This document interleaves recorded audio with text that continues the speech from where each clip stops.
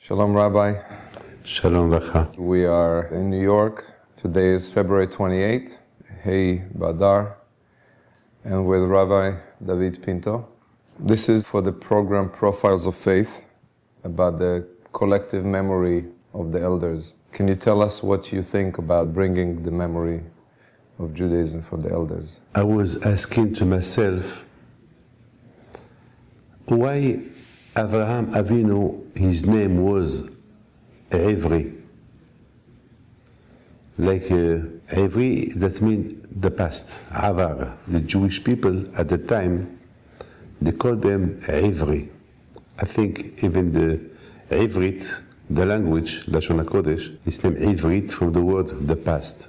Our uh, Hachamim said that why Abraham was called Ivri, because Ivri from the word, the whole world at that time they were idolatry of the Avodah Zarah, and the rest of the world was only Avraham Avinu.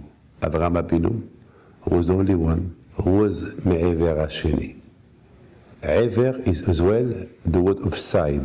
That means Avraham Avinu was watching the rest of the world and he saw himself that he is not like them.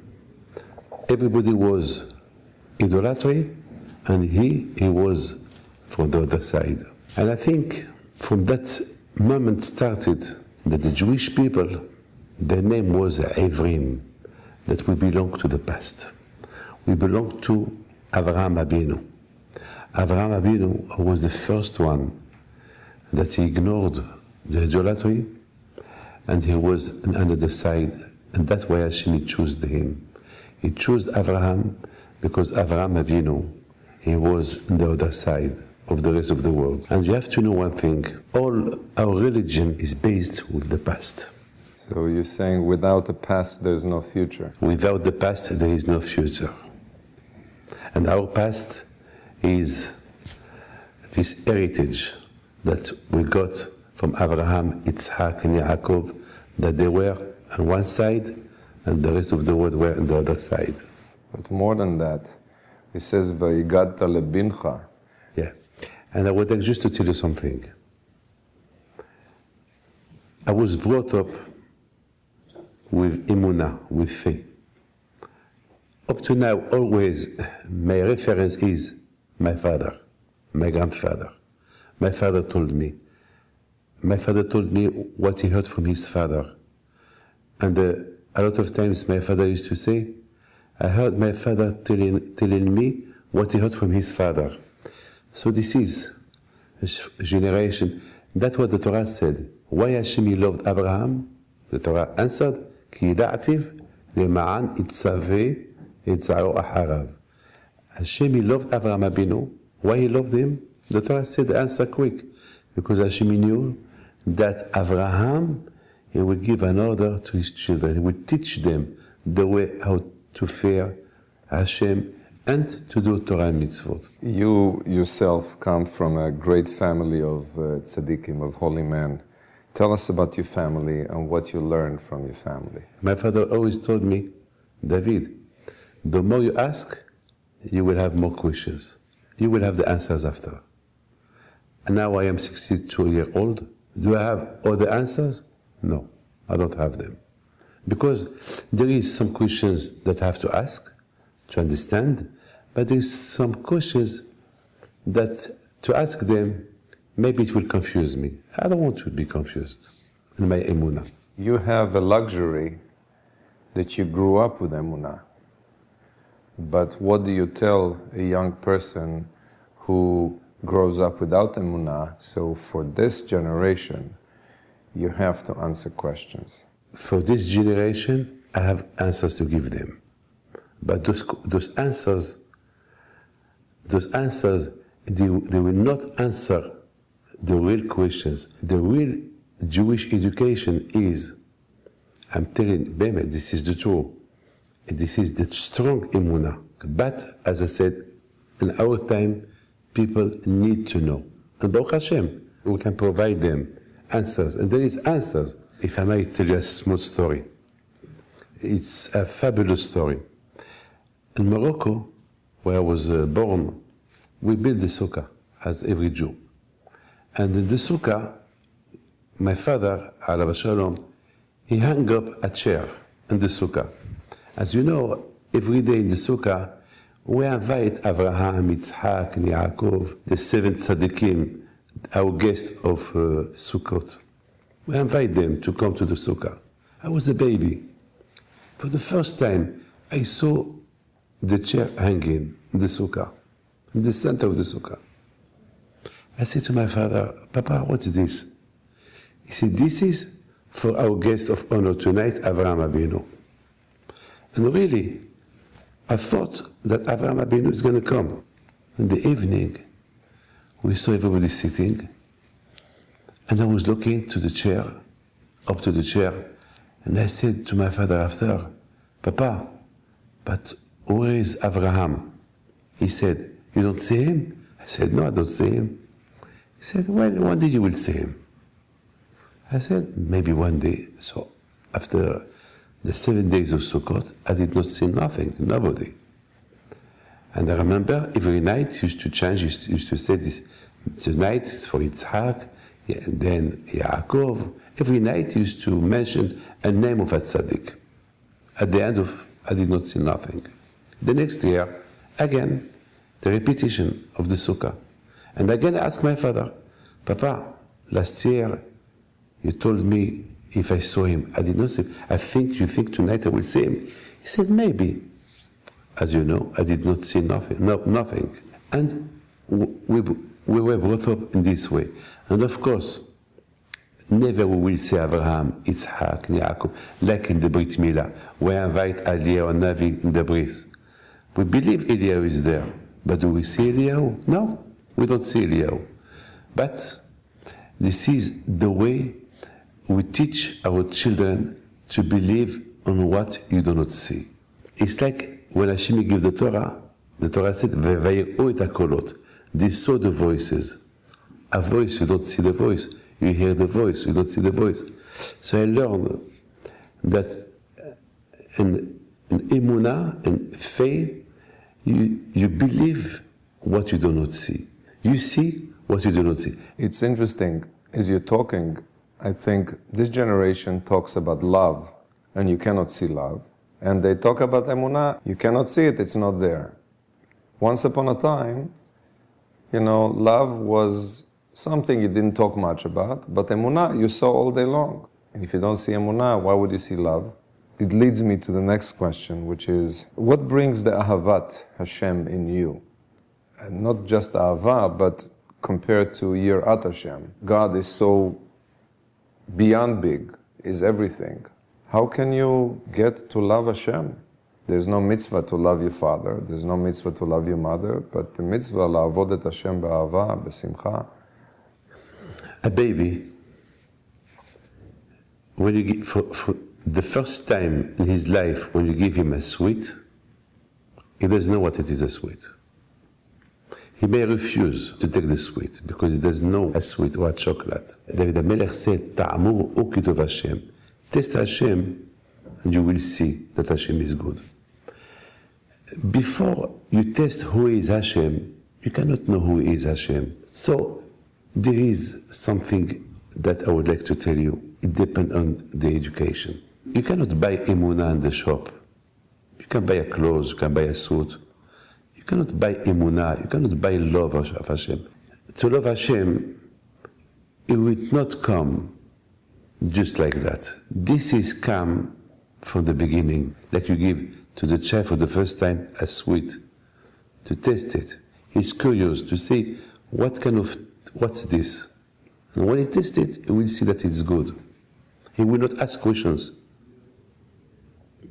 He will love it. The same with, with love Hashem, there is always a beginning, the parent. If it was not my father who gave me the love of Hashem, who teach me how to act, how to believe, how, how would I know that there is Hashem? So it's part of our responsibility to transmit yes, the knowledge of God, and once you know, you taste and you love. Yeah. And now tell us about your inner love of Hashem? I would like just to tell you something. Sometimes I feel that I don't love enough Hashem as I should do. Because there is no limit of loving of Hashem.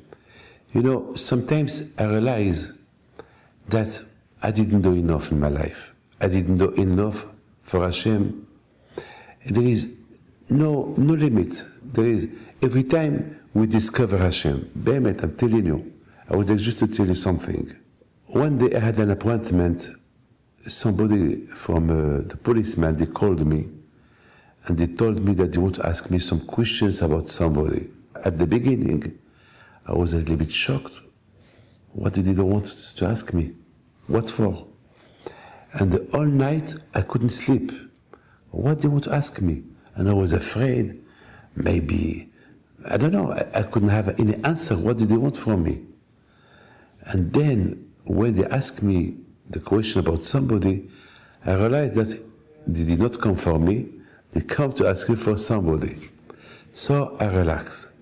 You know, I promise you, I said to myself, can you imagine, David, the big surprise that a man is sitting in front of Hashem.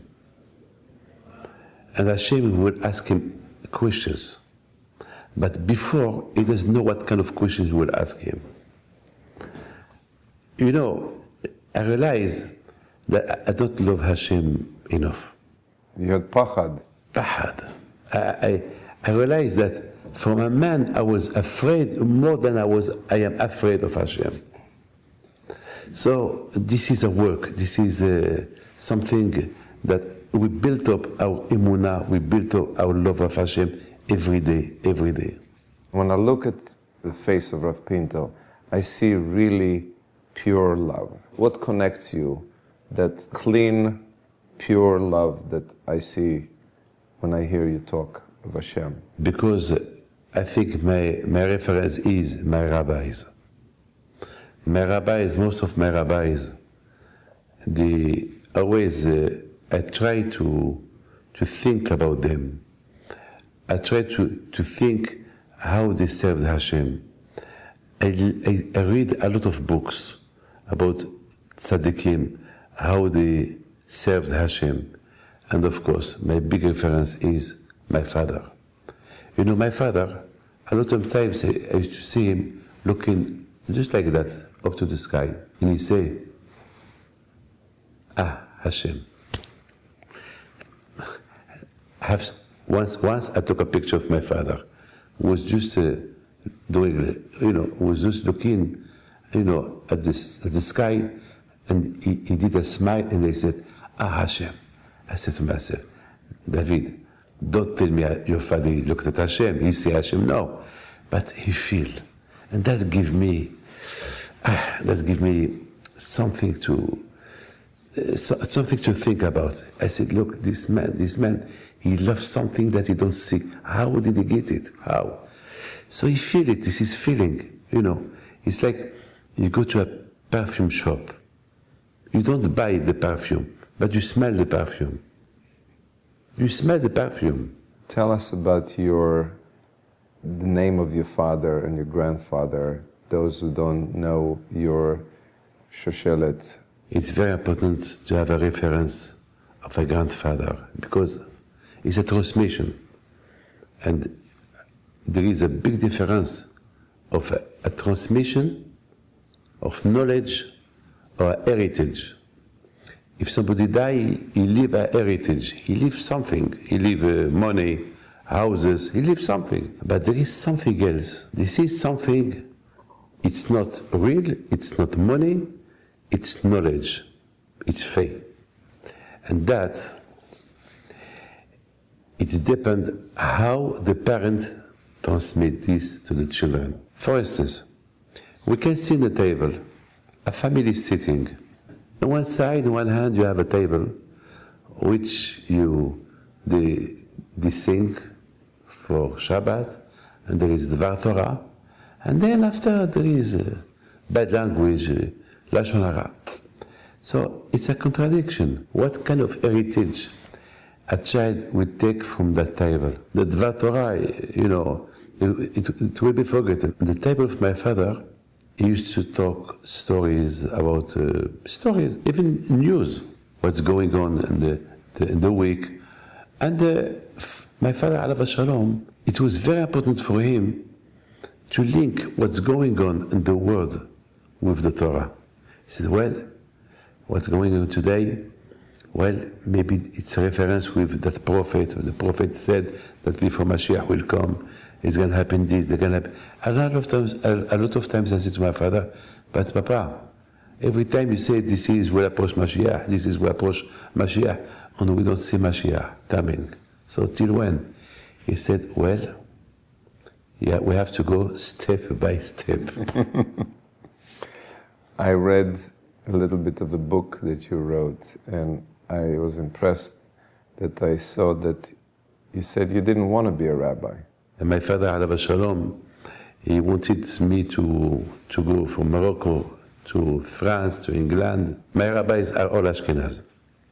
I was in the yeshiva, and I left the yeshiva, and then all my, uh, all my knowledge, emuna, came from my father. But when I was 22 years old, I did not, I did not know what to do. To carry on studying Torah, or just to go to work. That was for me a big dilemma, what to do. And for two, three years, I was out of the yeshiva. And I was searching myself what to do. But one thing kept, me going along. I was always Kovea Itim, always every day, few hours, open a book to study Torah. And I was searching, searching what to do. And a lot of times my father told me, David, you have to teach others. At the beginning, I didn't want. And then uh, a few years later, when I, I got married, I told my father, Papa, I did not decide yet what to do. To be a rabbi as you want, or just to work. And at the time, I used to make my living through the books I used to write. I used to write books about uh, uh, my family, I used to sell them. That was my, my income. I said to my father one day, I want to ask you something, but it's going to hurt you. He told me, ask. I said, why you've been cruel to me? Why you sent me to the yeshiva at the age of eight, and I did not see you till the age of 17. That means nearly nine years I didn't see you. That means the love that a father should give to his child, he did not give me that. He said, David, one day you will tell me thank you. And I told him, why didn't you come for my wedding? He said, for that as well, one day you, you will tell me thank you. The next year, I had a baby, and my father came for the Brit Milah. He was a Sunday. He said, if I would come for, for, the wedding, I would not come for the Brit, because it was, the Brit was in France. Then I started to build the first yeshiva, and the second yeshiva, and the third, and I started one day I said to myself, I am from those people who came from the past. I saw that uh, Baruch Hashem, when I used to give some shiurim, people they used to like it. And then that gave me chizuk. his chizuk to give. And then the first time in Lyon, I said I will be, do a big shiur, and they were there, few thousand people. I was at the time 32 year old. So that was for me a big chizuk. So from that time I started. And then five years ago, I went, I went to Ashdod to the grave, the kever of my father. And I was looking at him, to the kever, grave. And I was smiling. And I said to myself, Papa, do you look at me? Do you see me? Of course no. Do I see you? I can only see you in my mind. But I'm sure that you are up there in the Olam Haba, watching me now to hear from me if I will tell you thank you. Papa, I tell you thank you. If you did not do this big sacrifice to send me to the yeshiva, not to see me for a few years, I would not be today what I am. So again, thank you, Papa. You were right. And from that time, every time I go to Ashdod, the first word I say when before I read Tehillim and the gift of my father, I tell him thank you. And yet you go a lot to your graves of your grandfather. Yes. What's your grandfather's name? The grandfather of my grandfather, Rabbi Chaim Pinto I, he, he's buried in Essaouira, and he's, my grandfather, he's buried in Casablanca. He died maybe 75 year old. Tell us about this minhag of visiting the graves of your parents, your grandparents. We hear about a lot of people going to Kivrei Tzadikim. Most of us think it's a very nice spiritual thing, everybody's saying, should I do it? Shouldn't I do it? People don't like to talk about cemetery. The Mara said, Tzadikim b'mitatan nikaim hayim. When you go to Hebron, the graves of Abraham, Isaac, Yaakov, we feel good there. You go to Rabbi Shimon Bar Yochai, we feel good there. I don't know. And we are among graves, which uh, they already die, but we feel joy, we feel happiness there. The neshama is up there, so they are alive. It's an old, old minhag. When Moshe Rabbeinu sent the 12 spies to Israel to spy Eretz Canaan, the Torah said that Caleb ben Yefune, which he was among the, the spies, he went to the to Hebron, to the Kivrei Avot, and he was praying there. That means the the Kivrei Tzadikim, the graves of Tzadikim, it's just to remind their Ma'asim, how they served Hashem. It's just to connect you. It's not, it's not you pray to them. No, it's like Avodah Zarah. It's idolatry to go to, to a cave, a of a tzaddik, and you pray to him. You pray with his zechut.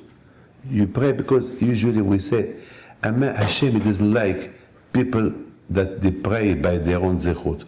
Because who knows that you are a good man?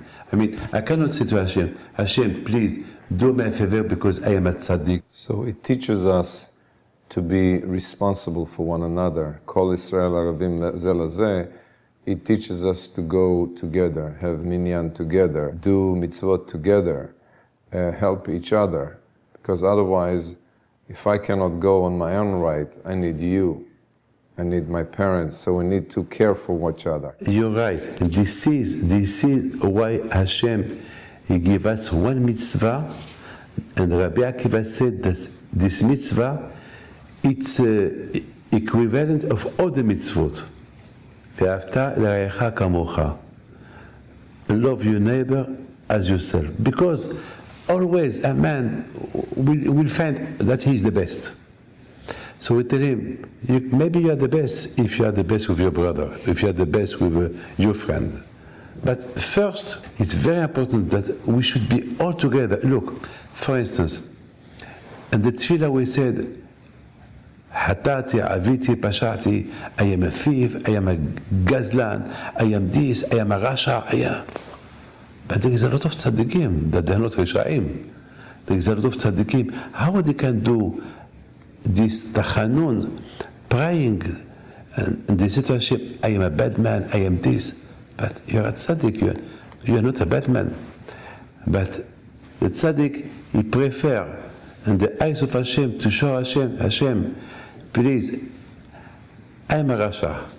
That's what we say. Hatati aviti, I am a Rasha. So the tzaddikim, they teach. They will not say to a Rasha, you are a Rasha, you are a bad man. He will say to himself, I am a Rasha, I am a bad man. So that the other one will learn this from him. Ah, if the tzaddik, that he's a real tzaddik, he can talk about himself that he's not a good man, he's not a good man. So what about me? You receive people and you give them brachot. you go to Kivrei Tzadikim, you give people a bottle of water or a bottle of honey, you give them a note, and people come believing that you have some way of helping them. Tell us about that aspect of your belief and your avodah Hashem. When I was a baby, I used to see my father. When people come to, to, to ask a bracha from him, he used to give them a bottle of water. I remember one day I said to my father, Papa, why you give them a bottle of water? Is the water that you give them is, is the refuah? Is, uh, is a medication? What's this? He said, it's a bottle of emunah. It's a bottle of, of emunah, of faith. I, I mean, when this man, he, he go out for me, he go with emunah. That Hashem, emunah. Who I am to give a bracha to somebody. Who I am to give, to tell somebody, Be'ezat Hashem, you will be well. Who I am. I'm nothing. It just, it just, this man came to see you. He wants, he want comfort. He need something. Like somebody, he came to see me yesterday. He had cancer. And I said, Be'ezat Hashem, be strong, you will be well. And he went for me like he was well. And sometimes it worked, but imuna.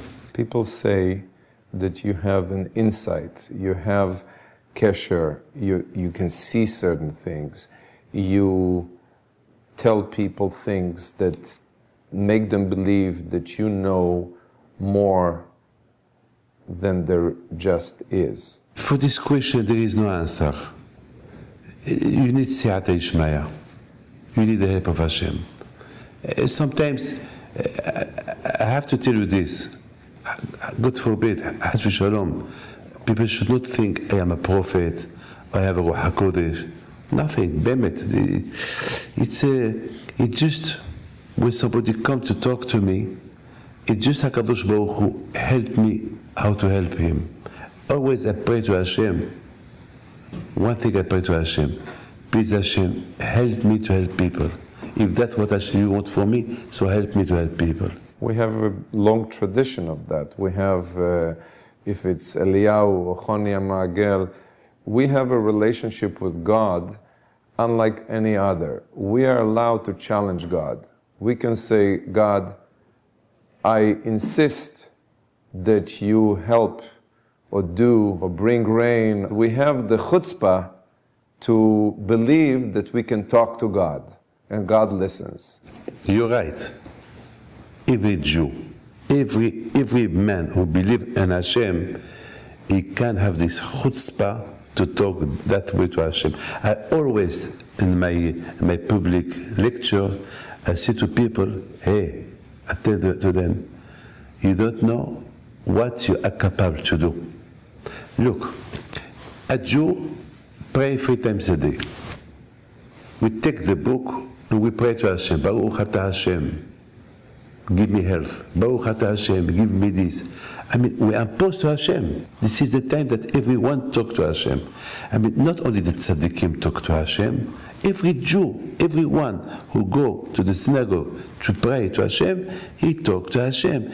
And every Jew, he can have this chutzpah to be a Choni HaMe'agel. I'm telling you. I I have thousands of stories of people that they are not rabbis, they have, they have no beard, they have no payos, they have nothing.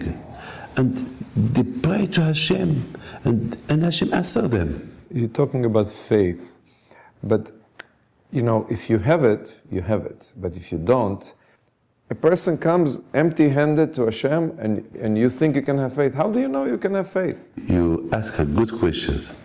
I would just ask you one, one question. Do we see, do we see the, you, you know this, we breathe. We breathe. I mean, do we see the air? The air is in the air. do we see the air? We don't see the air. Don't forget, ומלכותו בכל משל. Hashem, He is everywhere. Hashem, he, there is no uh, empty space that there is not there Hashem. Hashem is everywhere. A man that he consider himself that is not a, he doesn't believe in Hashem. He can talk as much as he wants, but he, he walk inside Hashem. He walk where Hashem is everywhere. You know what, what David HaMelech said? Sa'in, when I lift up my eyes to the sky, I see Marabo Ma'asecha Hashem. How great you are, Kadosh Baruch Hu. I mean, a lot of people, from nothing, they become a believer. From nothing. This man who walk in the street, who doesn't believe nothing, maybe he can see something. As a lot of people, did teshuva like that. A lot of people, from nothing, did teshuva. That is very inspiring. And I'm sure that if we allow ourselves, Hashem will be with us. We usually stop ourselves from seeing Hashem and feeling Him. About more ordinary things, you know, we struggle to live every day. We struggle to have a family, build a house, have money, go to work, do a lot of everyday things. But then the rabbis, the, the, books, the Torah tells us that we're responsible to the whole world. Tikkun olam. We just want to take care of everyday work and it's hard. How can we fix the world? No one can fix the world, only Hashem. But one thing is clear. I'm not talking only to religious people, to each one that he is he live in this world, he should think if he live in this world, so he has a part of the tikkun olam. If I am here, so I'm not here just to eat and to drink and to sleep. If I'm here, so I mean, I should be here. I should feel myself here to do something. So there is people who say, Hasidi Bani, through doing good things, so you, I mean, you help the Tikkun Olam, you help the construction of the world. Each one who is here, he has a mission to do. Now, it's depend what kind of mission. No one knows what is it, what, it, what it is, his mission. No one knows what Hashem wants from him. No one knows why he is here for. One thing is sure. If you have the chance to be among those who believe of Hashem, Hashem will show you why you are here for. So you, can be a part of those of Tikkun Olam. They said, if you build it, they will come. It's a famous movie. So it's a model. It sounds that life is a journey, and your father taught you that if you have a question, one day you'll find the answer. So if you think that you don't see the answer, you just wait. Judaism teaches you not to just dismiss. You have to wait. Wait with hishtadlut. That's what I hear from you. Last year I was uh, in Auschwitz, and uh, I was with a group of Jewish people, and uh, I was shocked. And I said to myself, how can people say that this is because, you know, there's a lot of people who think the, there is no Auschwitz, the, the Jewish people never been killed in Germany. But you see here the reality, you see what was there. And there is one question why this happened? Maybe that, even me with my beard, I said, why did this happened? What, what was the purpose? For two hours I didn't speak, I didn't talk. For two hours I didn't talk. I was, uh, I was in, with my mind, I was thinking, asking, and then I came to an, a beautiful answer. I don't need somebody to give me answers. I ask myself, and I will find my teshuva. I said, David, look at yourself, you are here. You are here, Am Israel Chai. Yes, always there is a Shoah. But the most important is, Am Israel Chai. The Jewish people are still here. We, see, we have yeshivot, we have schools, we, thanks God, we, we, we're still here. And Baruch Hashem, we have Eretz Israel, and uh, there is, we have uh, our own government, we have, we have uh, a state. Baruch Hashem, what is your question? Ah, but still you have a question. Well, one day, after 120 years, you will say Hashem, He is the only one who can give you the answer. Because there is no answer. The answer is right.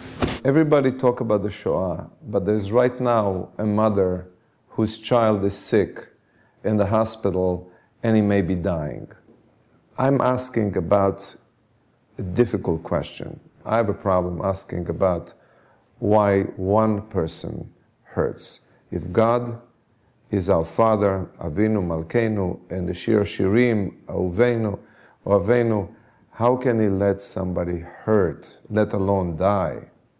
The dignity of man, Tselem, when a person hurts, it's like you're hurting God. Each Jew or each person is העולם בפני עצמו. Each person is a word. When somebody is in danger, even on Shabbat, we have to light a fire to save him, if we have to do it. Pikuach nefesh. If you have to do, if somebody is in danger, you must do everything you can to save him. Hashem said, forget, forget me, take care of him.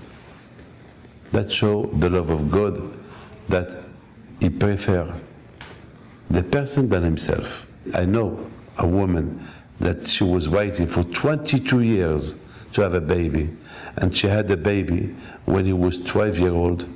Had an accident and he died. Can you imagine that? I was shocked. I was shocked. I was shocked. All the city of Lyon cried that baby. I mean, you cannot imagine. People came for the Levaya, people who knows the family and people that did not know the family. It was terrible, terrible. That was a Shoah, a private Shoah. As I told you before, I was brought up not to ask this kind of question because the answer of this question is not to ask. Because there is no answer. I have no answer. I'm sorry. This is I don't know how the, the way of Hashem works. I don't know. One thing I can tell you, that only Hashem knows. A lot of people, because of those, those questions, that, that they have no answer, so they said, if this is the Judaism, so I don't want to believe. So it's unfortunate. I asked my child, my son, um, I have four boys, Baruch Hashem, I said, I'm going to speak to an important rabbi, what should I ask him? What would you ask him? So he says, he says, can you make deal with Hashem? Can you say, Hashem, I'd like to put tefillin, but I didn't, and I'm busy. But you know I want to put tefillin. Tomorrow I'll do maybe. Can you make deals with Hashem? I think uh, it's no good to to accept to tell to teach your children to make deals because if the deal fail, so that will put his imun in doubt.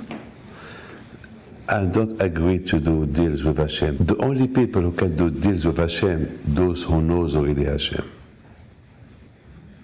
Those who knows already Hashem, and who believe in Hashem. Like last week.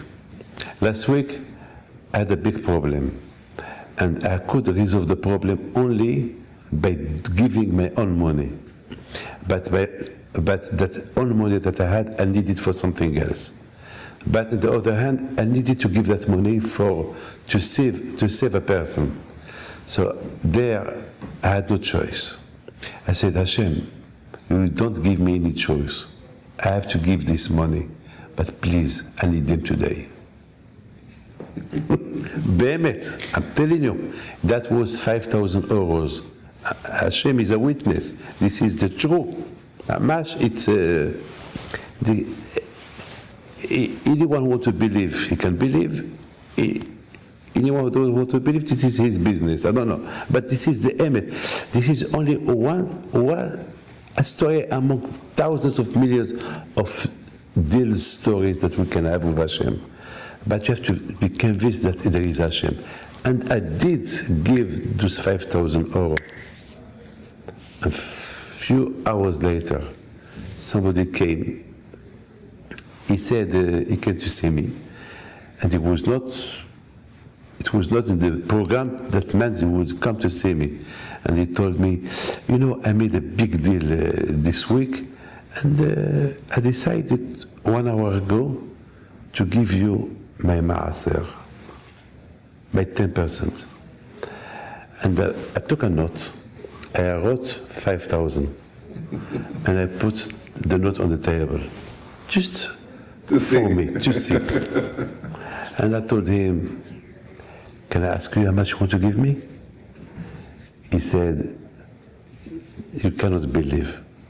I said, I think I believe because I wrote it here. If it's not you, maybe it's uh, somebody else will come to give me this. So he said, Can I say? I said, No. So he put his hand in the pocket and give me 5,000 euros. I told him, take the, take the paper. And he took the paper, was shocked. He said, You lost. I said, I lost? But you give me 5,000. He said, No. This is my first 5,000 and here is my second 5,000. so I said to Hashem, if Hashem, if I knew that you would give me double, I would give this money more. so you see, I remember my father, Alav Shalom, every time he, he used to ask from Hashem something, he used to get answers. I don't know, eh, I, this is, as I told you before, emunah, it's not limited. There is no limit. So, my last question is really my first question, my everyday question. It's your question. What do you tell people who don't come with it? How do you bring him to give him a chance to taste of your world? You know, emunah, everyone with his, with his luck. A lot of times I meet somebody just like that in the plane, and just we talk five, ten, few minutes, and there is questions, and I am honest. If I cannot answer them, I tell them I have no answer for you. I cannot answer. But if, if I can give an answer, I give it well. I had never forced nobody to believe in God. Never. You know, our first identity, our first uh, passport was in Egypt. We were born in Egypt. All Am Israel was made, was born in Egypt. We were all born in the Galut. And even the Galut remained a good Jew. That means that a Jew, anywhere where he is, he can be in Israel, he can be in Russia, he can be in Poland, he can be in Morocco, in Europe, in Asia, he can be everywhere. He will find Hashem there. One thing I want to tell you. Abraham Abinu, each second living in Israel, he felt, he, he felt the, you know, the existence of Hashem in Eretz Israel. Yaakov Abinu was afraid. He didn't want to leave Eretz Israel until Hashem he promised me, don't, for, don't worry, I will protect you outside Eretz Israel. Because Yaakov thought that maybe he will lose some of his emunah, maybe his children. Israel is our homeland, is the, is the, the house of Hashem. Can you imagine that? It's Eretz HaKodesh, is the house of Hashem. It's opposite to believe that only there they did not reach this level of emunah of HaKadosh Baruch Hu. There is a lot of Israelis, Jewish, from Israel. But when they were in Israel, they were not religious. They came to France and they became religious. They came to America, they became religious. And in Israel, they were not religious. It's something that I don't, I do not understand. But maybe it's a part of the education. Maybe in Israel, nobody give them nothing. So, part two of the same question is there are people who get a lot of education. We have yeshivot. People go to yeshivot. They go to Eretz Israel to yeshiva. They come back. They take the kippah, put it away. They eat. They don't eat Shabbat, lo Shabbat, but you can see that they're dancing on both wedding. What's missing? I have a lot of friends that they study with me the yeshiva. And when they left the yeshiva, they left everything behind. Even in Yom Kippur, they eat. One of my best friends, my chavruta, he used to fast on, on, on Monday and Thursday. 20 years later, he don't respect no Shabbat, Kippur, nothing. You have more yetzer hara when you leave the yeshiva. The more that you want to be close to Hashem, the yetzer hara is stronger on you. So it, this is life, this is a fight. Do you think I don't have yetzer hara? I have a big yetzer hara, Bemet. Do you think I don't want to live like everybody? I won't. But I know that it's not for me. So it's a fight. Rabbi told me God gives everything and its opposite. Yes. הכל בידי שמיים חוץ מיד שמיים. Everything is in the hand of Hashem, but not religion. Religion, it's your work. This is your tachli. That you come here to serve Hashem. It's your passport. You know, when I come to America, the police, they look at you, they take a picture of you, and they take the digital fingers. And uh, I was thinking, why do they do this? Why do they do this? Because they want to know who I am. And uh, they want to know who I am, or if I do something bad, so they know It's you. it's me. You see, Hashem has all these hidden, all these rec- records. He have them there. After 120 years, when I arrive there, he want to see. He, he will see the original, and he will see what you are. So he will compare. That's why the, the Gemara said, "Ashrei mi shiba lekan בפספורט בידו, ותלמודו בידו. אשרי מי ש... How much a man should be happy when he arrived there after 120 years. And that he has with him all his luggage, mitzvot, ma'asim tovim, his passport, with his pictures, with his, ident- his real identity that Hashem put on him before he was born. I mean, I have to go back there the same way I come here. ברוך אתה בבואך וברוך אתה בצאתך. I'd like if you can finish with a Zmira. A song that always my father used to sing on Shabbat. It's a, it's a song that uh, it talk about how Hashem is strong, how Hashem is big.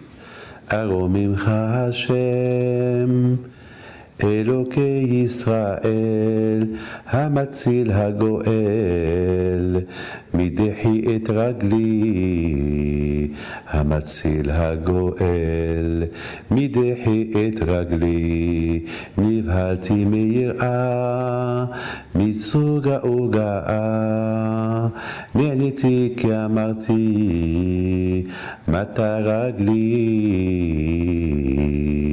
נעניתי כי אמרתי, מטה רגלי, ידך עשוני, והם כוננוני, ni Hashem ina oze li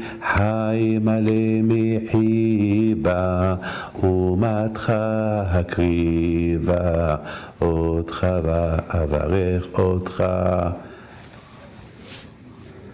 It's wonderful. It's a long song, but I made it short.